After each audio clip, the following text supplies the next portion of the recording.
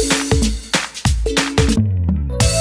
दोस्तों, आपका बहुत बहुत स्वागत है हमारे चैनल सक्सेस प्लेस में। इस वीडियो में हम आपको एक बहुत ही अच्छे शेयर के बारे में बताने वाले एक बहुत ही फंडामेंटली स्ट्रॉन्ग शेयर्स मतलब एक क्वालिटी शेयर के बारे में बताने वाले हैं। बहुत ही बहुत बेहतरीन शेयर है। तो चलिए, उस शेयर के बारे में हम डिस्कस कर लेते हैं। पहले आपको उसके डिविडेंड दिखाएँगे। डिविडेंड इतना ज़्यादा है, इतना शानदार डिविडेंड है कि दस आपको डिविडेंड के रूप में रिटर्न मिलेगा। तो ऐसे में सवाल आता होगा कि आपको पीएसयू स्टॉक बताने जा रहे हैं। नहीं, बिल्कुल ये पीएसयू स्टॉक नहीं है। बहुत ही बेहतरीन स्टॉक्स है। के साथ साथ बिल्कुल डेप्ट फ्री कंपनी है और बहुत ही अच्छी कंपनी है, अच्छे ग्रुप की कंपनी है। तो सारे चीज़ को हम इस वीडियो में डिस्कस करेंगे। दोस्तों, देख सकते हैं कि ये हम उसके कारपोरेट एक्शन में आ चुके हैं। इस कंपनी के कारपोरेट एक्शन में यहाँ से आप देखिए बोर्ड डिविडेंड डिविडेंड देखिए 800 परसेंट का 2020 में 2019 में थोड़ा सा गैप रहा। और 2018 में देखिए 1000 परसेंट, फिर 300 परसेंट 100 परसेंट, फिर 2017 में 100 परसेंट, तेरह परसेंट। समझ सकते तेरह सौ पचहत्तर, एक सौ, चौदह सौ पचहत्तर और इसका फेस वैल्यू है दो का। फेस वैल्यू दो का तो मतलब उनतीस रुपया डिविडेंड हो गया। आप समझ सकते हैं, उनतीस रुपया डिविडेंड, मात्र 200 का शेयर 200 से भी कम। अगर और करेक्शन आता है मार्केट में तो और ज़्यादा कम पे आपको ये स्टॉक्स मिलेगा और तीस रुपया डिविडेंड।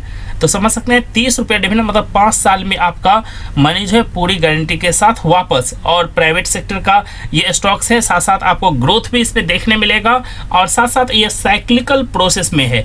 मतलब ये मेटल सेक्टर का स्टॉक्स है। मेटल सेक्टर में क्या होता है, जो माइनिंग वाले होते हैं, वो साइकिल चलता है, एक अप साइकिल, एक डाउन साइकिल। तो ये स्टॉक्स अभी डाउन साइकिल में था और यहाँ से अब ये अप साइकिल में जाने वाला है, क्योंकि अभी फार्मा स्टॉक देख सकते हैं, अप साइकिल में है। अब फिर आगे जो है, आपको एक से दो तीन सालों तक इस सेक्टर में, मेटल सेक्टर में आपको जो है ग्रोथ देखने मिल सकता है। पहला तो ये 10 परसेंट आपको डिविडेंड के रूप में रिटर्न दे रहा है।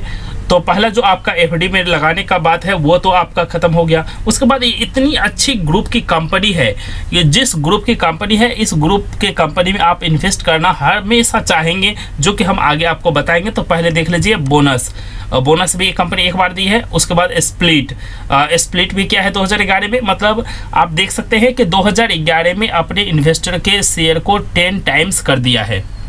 जिन्होंने भी लॉन्ग टर्म के लिए इन्वेस्ट किया होगा 2011 में जो बोनस और स्प्लिट हुआ, उससे उसका शेयर टेन टाइम्स हो गया टेन टाइम्स समझ सकते हैं? दस गुना शेयर हो गया। उसके बाद हम वैल्यूएशन देख लेते हैं इस कंपनी का। तो इसका वैल्यूएशन देखिए, देख लीजिए लार्ज कैप है एटी टू थाउज़ेंड का।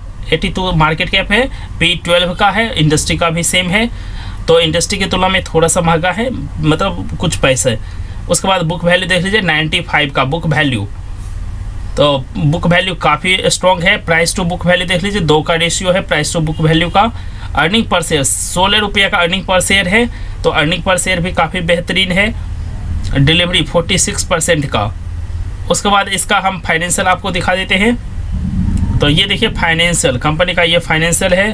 तो कंपनी का जो देख सकते हैं यहाँ पर सेल्स है, थोड़ा सा डिक्रीज हुआ है। सेल्स थोड़ा सा डिक्रीज हुआ है, अगर क्वार्टर टू क्वार्टर कंपेयर करेंगे, यहाँ से मार्च क्वार्टर 19 से 20 का तो सेल्स में काफ़ी गिरावट आई थी। प्रॉफिट में भी काफ़ी गिरावट आया, क्योंकि इसका साइकिल प्रोसेस चलता है, जो माइनिंग सेक्टर के हैं, जो मेटल सेक्टर के स्टॉक्स है, उसका साइकिल प्रोसेस होता है अप साइकिल और डाउन साइकिल अभी ये डाउन साइकिल में था, अब यहाँ से ये स्टॉक्स जो है मतलब मेटल सेक्टर आपको अगले एक साल, दो साल में अप साइकिल में जाता हुआ दिखाई देगा। तो इसका साइकिल प्रोसेस होता है अप साइकिल फिर डाउन साइकिल डाउन साइकिल फिर अप साइकिल तो ये अब डाउन साइकिल था स्टॉक काफ़ी करेक्ट हो चुका है। चार्ट पर भी हम आपको लेके चलेंगे तो यहाँ पर आपने प्रॉफिट देख लिया। प्रॉफिट लगभग कांस्टेंट रहता था। इस बार थोड़ा सा गिरावट आया है मार्च क्वार्टर में। तो हर स्टॉक्स में इस क्वार्टर में गिरावट आया है। तो हम आपको इसके बैलेंस शीट दिखा देते हैं और इसका जो डिफरेंट डिफरेंट ग्रोथ का रेशियो है, वो भी दिखाएँगे। तो सबसे पहले हम आ जाते हैं बैलेंस शीट पर। यहाँ पर बैलेंस शीट में देख लीजिए reserve thirty nine thousand crore का रिज़र्व है कंपनी के पास। तो रिज़र्व देख लीजिए कितना ज़्यादा है। तो कंपनी जब भी डिविडेंड देती है, इतनी ज़्यादा क्यों? क्योंकि कंपनी के पास रिज़र्व कैश बहुत ही ज़्यादा है। तो देख सकते हैं थर्टी नाइन थाउज़ेंड करोड़ का। और जब ये डिविडेंड नहीं देगी, इस रिज़र्व को यूज़ करना चाहेगी कभी, क्योंकि माइनिंग कंपनी, इस कंपनी का क्या होता है, जब माइनिंग होती है तो वहाँ पर लोन लेते हैं, या तो अपने पास जो रिज़र्व है, उसको यूज़ करेंगे, क्योंकि कैपिटल की बहुत ज़्यादा ज़रूरत होती है। जब वहाँ से माइनिंग होकर के प्रोडक्ट निकलेगा तो फिर उसको सेल्स करके इसको वहाँ से प्रॉफिट प्राप्त होगा। तो समझ सकते हैं इसके पास रिज़र्व इतना ज़्यादा होने के बावजूद शेयर बोनस क्यों नहीं देते? क्योंकि ये अभी जो डाउन साइकिल में चले अब जो एप साइकिल आएगा अब जो माइनिंग होगा उसमें यूज़ करेंगे तब जाकर आपको बोनस दिया जाएगा।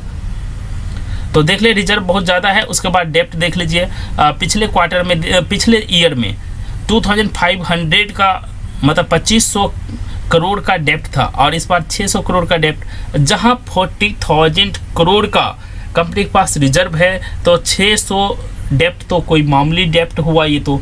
मतलब ये बहुत ही बहुत मामूली डेप्ट हुआ, नहीं के बराबर डेप्ट। तो बहुत ही नहीं के बराबर डेप्ट है इस कंपनी के बाद वो भी सिक्योर्ड लोन है। तो 600 करोड़ का मात्र डेप्ट है कंपनी के ऊपर।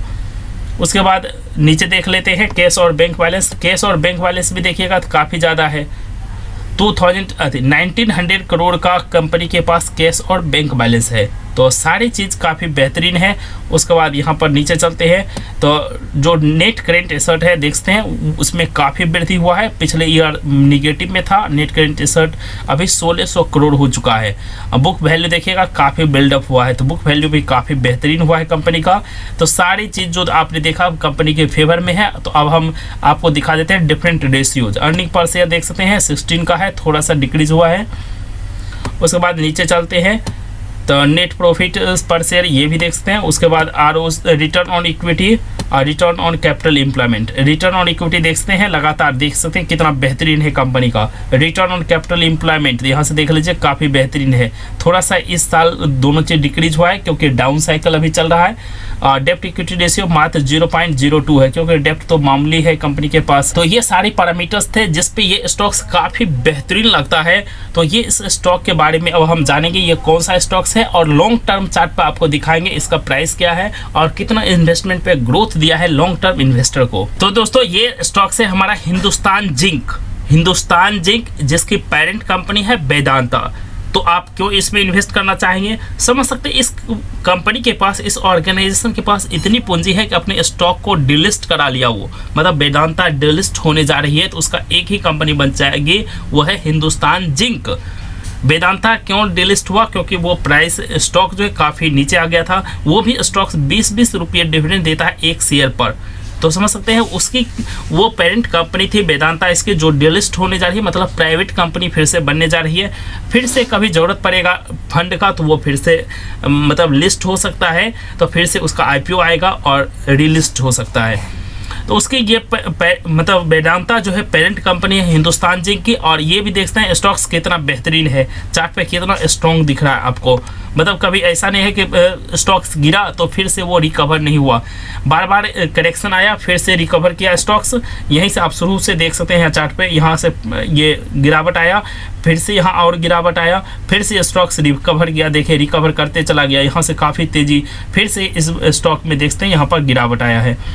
तो ये स्टॉक्स फंडामेंटली काफ़ी स्ट्रॉन्ग है। सबसे बेहतरीन है कि आप जैसे थोड़ा सा इसमें गिरावट आता है करेक्शन आता है, वहाँ पर बाय करते हैं तो टेन परसेंट आपको डिविडेंड के रूप में ही ये रिटर्न दे देगा। यहाँ पर देखते हैं एट पॉइंट फोर थ्री क्योंकि अभी ये स्टॉक्स काफ़ी मूव कर चुका है, इसलिए आपको इसमें इतनी मतलब डिविडेंड जो है काफ़ी कम दिख रहा है। नहीं तो देखते हैं, ये एक सौ सोलह रुपया फिफ्टी टू वीक लो आ चुका था। यहाँ पर बाय करते हैं तो आपका डिफरेंट जो है फिफ्टीन का होता फिफ्टीन समझ सकते हैं, पंद्रह प्रतिशत का डिविडेंड यील्ड पंद्रह प्रतिशत रिटर्न लोग बीस बीस साल तक म्यूचुअल फंड में इन्वेस्ट करके रखते हैं, तब प्राप्त करते हैं। बताइए, ऐसी बेहतरीन कंपनी फंडामेंटल इतनी स्ट्रॉन्ग कंपनी डेप्ट ज़ीरो कंपनी और ऐसे ग्रुप की कंपनी जो अपने स्टॉक को यहाँ से डिलिस्ट कराना चाहती है मार्केट में मार्केट से, वैसी ग्रुप की कंपनियाँ है।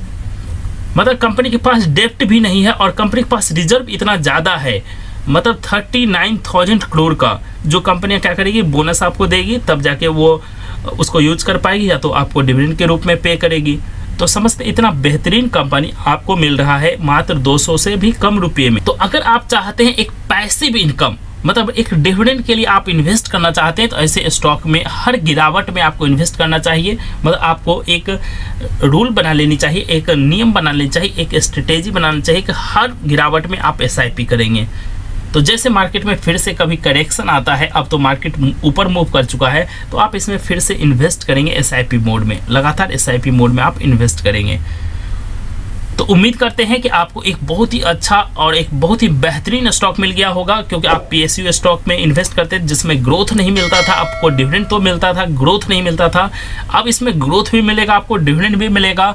तो उम्मीद करते हैं ये वीडियो आपको पसंद आया होगा तो वीडियो को आप शेयर करेंगे, वीडियो को लाइक ज़रूर करेंगे, क्योंकि आपको बहुत बहुत मेहनत लगता है वीडियो को बनाने में, और चैनल पर पहली बार है तो चैनल को सब्सक्राइब करके बगल के बेल आइकन को दबा लीजिएगा। तो फिर मिलते हैं अगले वीडियो में, तब तक के लिए जय हिंद।